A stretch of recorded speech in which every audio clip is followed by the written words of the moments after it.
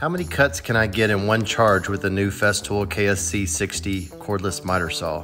For my test, I'm using 2x6s and I'm cutting them in approximately 1 inch slices. I'm also letting the blade stop between each cut. This took about 21 minutes to run this test. I had three 8 footers and towards the last one I was getting a little nervous because the battery seemed powerful, but it finally died about right here.